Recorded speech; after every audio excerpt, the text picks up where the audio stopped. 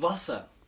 Ja, äh, in äh, Afghanistan, in un unserem äh, Dorf, äh, überholt oder bringt Wasser äh, die Frauen und die Männer.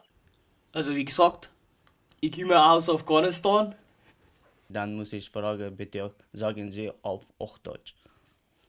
Gute Zeit. Für dich.